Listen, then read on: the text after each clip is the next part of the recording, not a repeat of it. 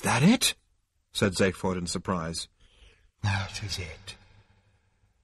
Didn't look too bad, thought Zaphod. And I get in there, do I? said Zaphod. You get in there, said Gargravarr. And I'm afraid you must do it now. Okay, okay, said Zaphod. He opened the door of the box and stepped in. Inside the box, he waited. After five seconds, there was a click, and the entire universe was there in the box with him.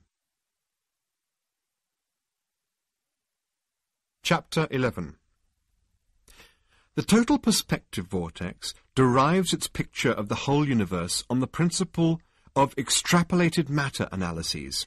To explain, since every single piece of matter in the universe is in some way affected by every other piece of matter in the universe, it is, in theory, possible to extrapolate the whole of creation, every sun, every planet, their orbits, their composition, and their economic and social history from, say, one small piece of fairy cake. The man who invented the total perspective vortex did so basically in order to annoy his wife.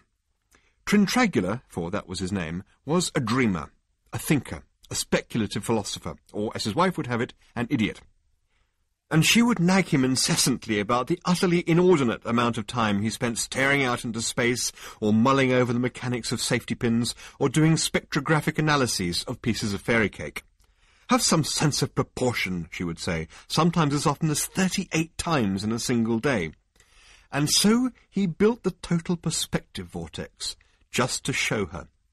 And into one end he plugged the whole of reality as extrapolated from a piece of fairy cake, and into the other end he plugged his wife, so that when he turned it on, she saw in one instant the whole infinity of creation and herself in relation to it.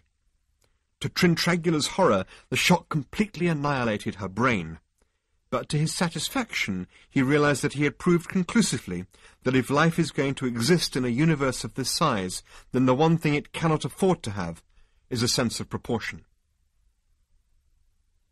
The door of the vortex swung open. From his disembodied mind, Gargravarr watched dejectedly.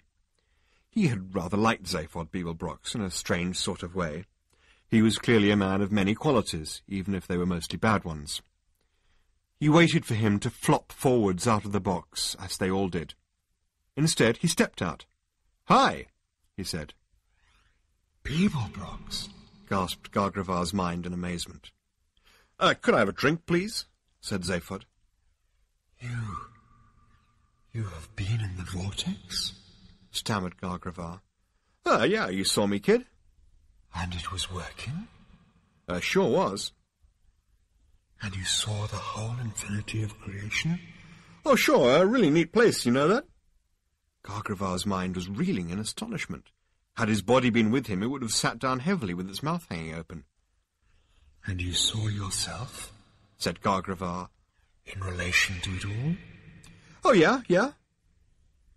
But what did you experience? Zaphod shrugged smugly.